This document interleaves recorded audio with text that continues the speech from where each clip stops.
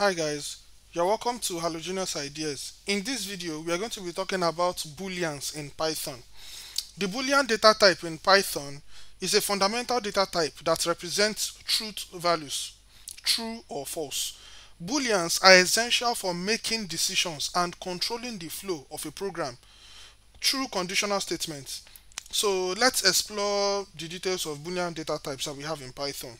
The basic usage is doing something like um, you can say is python fun. The value will, will obviously be true. Okay? So something as little as this. This is a boolean data type. Another thing you can do something like is admitted. If the person is not admitted false okay. So these are the two truth values. These are the two possible values of a boolean true or false. So we can print is python fun. If i save this and i run it you see it is giving me true. Now the reason why it is giving me true is not because python truly is fun to learn but because i set the truth value over here all right so i can also have is admitted if I should run this, guess what? It's, it's it, it will be giving me false. Alright? If I should look for the type, the type, and I run it. So you see, it is giving me BOOL because this is the constructor for the boolean. Okay, this is the um, the boolean object. This is the object for for booleans. So we have um, you can also generate these truth values from relational or logical um, statements using the relational or the logical operators. For example, you can have something like this. If you are using the comparison operators now, comparison operator. If you are using the comparison operator, for example, you can say um, result equal to 20 greater than 7. Okay, print the results. Guess what? 20 is greater than 7 so it will be giving me true. The reason why it's giving me true is because this um, comparison operator greater than is returning true because the operand this operand over here is greater than this operand over here. If I want to test 20 for even number for you to get an even number the both operands what am I saying? The number must be able to, if you divide the number by 2, the remainder will be 0. So for me to test 20 for being even number or odd number, all I have to do is 20 modulus 2 equal to 0.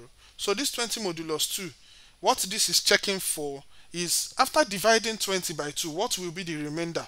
Okay? If the remainder is zero then it will, it will be returning true. Don't forget that this operator over here and this operator over here they are two different operators. This one is used for comparison okay? This is used for comparison um, or, or it's a relational operator or a comparison operator. This is an assignment operator strictly for assignment. So if I should run this you see it is giving me true because 20 is an even number. If I come here and I use 21 it will be giving me false because 21 is not an even number. Alright so clear. So you can also do something like this. If I have um say 4 um, I can say 4 less than or equal to say 23 both statements does not have to be correct doesn't have to be correct. Only one of them have to be correct for this to return true. So if I should run this it will give me true. 4 is not equal to 23 but it is less than. So you can see that I'm combining two different conditions over here. So obviously it is going to be giving me true so that is how you generate truth values. That is how you generate a boolean from comparison operations. You can also generate it from logical operations. You have the and, the no, or the, the and, or, and not. For example, if I have something like true and true, it will be giving me a boolean, which is what? True basically. Alright? So you can you can also have not true not true will be giving me false straight away. Not true will be giving me false. Because the not like I explained in a previous video I said it negates whatever um, it's in front it negates the or the operand basically because it's a unary operator meaning that it requires only one operand to run. So it will negate that operand basically. So that is that is all about um okay this one is logical operator okay? The and the not and the or. They are used to perform logical operations. So um, we also have the truth and false values okay? We have the truth and the false values. So for the following values for the following values the first one is false which is obviously going to return false. If you have zero okay then if you have an empty string let me use double string in this case. If you have an empty string if you have um, an empty list if you have um, an empty dictionary okay? So and none. If you remember the non-data type. So all these values are going to be returning false if you try to look for the boolean equivalent okay? If you try to look for the boolean equivalent of all these values it is going to be giving you false. For example let me let me just take the whole of this and bring it here. I'm trying to look for the boolean equivalent. Now how can I find the boolean equivalent of false? Just BOOL then false which is the boolean constructor. This BOOL if I run this see what it will be giving me. It will be giving me false. Then the other what if I run boolean true if I run this it will be giving me what? True. Okay? Let me clear my terminal. So what if I want to look for the truth value of 0 0 if I run this you see it's giving me false. But what if I say 24 it's giving me true. What if I say negative 24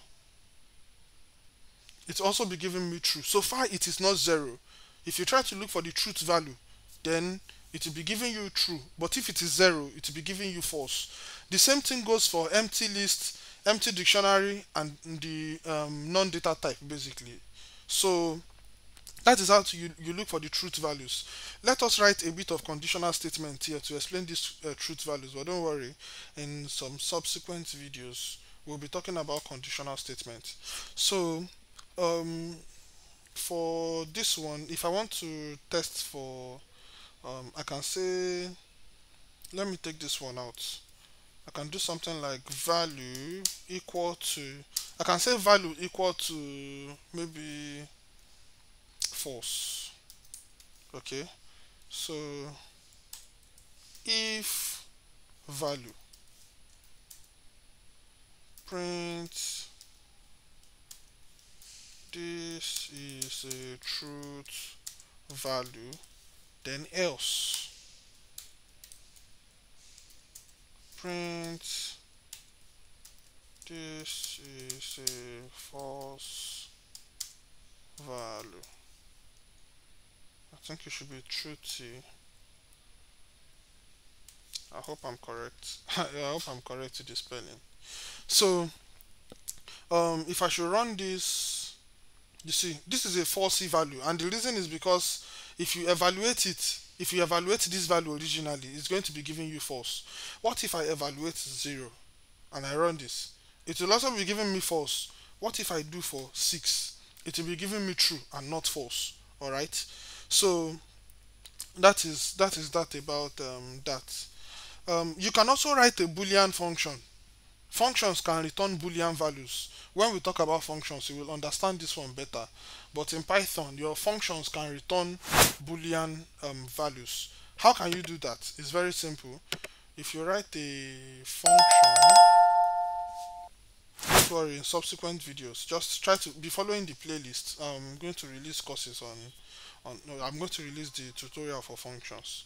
So and by the time you're watching this tutorial I might have released it too. For you to write a function that returns a boolean value is very very simple. We can use this simple um, explanation is even then I'll pass in a number and the number what I want to do is just to return um, the number percentage 2 equal to 0 just like what I did the other time to, to test for even or odd number. For me to I can just for me to use the function so is even is even then I'll do something like um let me say 7 if I should run this it will be giving me false. Let me clear my terminal. So it's even it's going to it's even 7 what if I do is even 6 I run this it's giving me true. What if I do is even 5 I run it you see it's giving me false so your function your functions can also return um, can also return uh, boolean values. There's also this thing they call boolean casting. Okay? Boolean casting. What we did when we were explaining integers converting from one point to the other is what we call typecasting in programming. I forgot to mention. So we call it typecasting in programming where you convert from one type data type to the other so for you to typecast in booleans all you have to do is simply for you to use the bool constructor bool value for example equal to the bool constructor then you do something like um say 42 for example. This is going to be giving you true. So print bool value. So this will be giving you true straight away this will be giving you true straight away okay it will be giving you true so um, I will not be dwelling much on that. The last thing that we are going to be talking about under booleans. So in Python, there is this thing Python does that we call short circuiting. Okay, there is this thing Python does that we call short circuiting. So Python uses uh, short circuit evaluation with AND and OR, meaning that the second operand is not evaluated if the result is already determined. Okay, so you can have something like this. You can have something like this. So for you to use the short circuiting you can say function print hello. So you can just say I'm not passing in any value what am I doing? This should be def too much of JavaScript. So um, I can do something like print hello world.